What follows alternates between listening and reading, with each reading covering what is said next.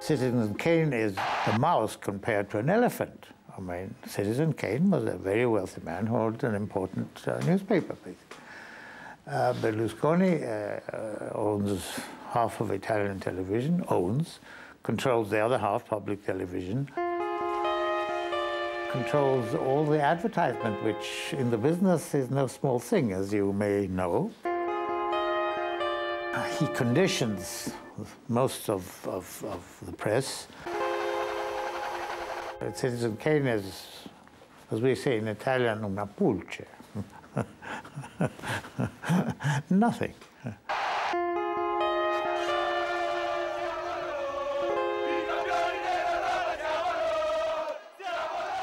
Milano. La squadra di Silvio Berlusconi gioca la finale di Coppa dei Campioni a Manchester, mentre nel proprio stadio i tifosi trepidano di fronte ad uno schermo gigante. Una metafora calzante in un paese dove il Presidente del Consiglio possiede metà delle televisioni e la squadra che sta vincendo sullo schermo.